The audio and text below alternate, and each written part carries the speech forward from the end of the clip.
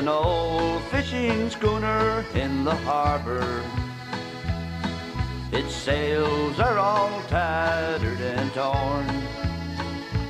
As I stand gazing out over the ocean, I think of the hardships it has known. I remember the days of my childhood when it sailed across the water so grand, taking our fathers to the Grand Banks to fish for their families on land. If that old ship could talk, oh what stories it would tell about some happy days I know. It would tell of the hardships and dangers man and schooner had to face long ago.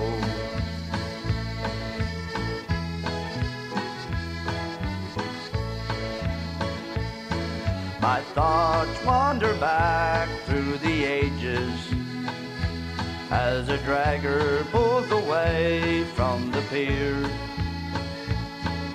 It still all shines bright in the sunlight.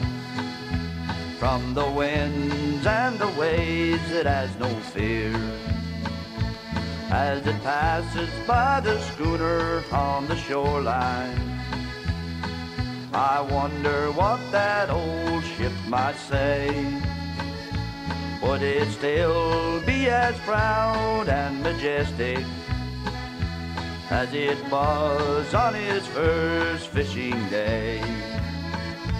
If that old ship could talk, oh what stories it would tell about some happy days I know.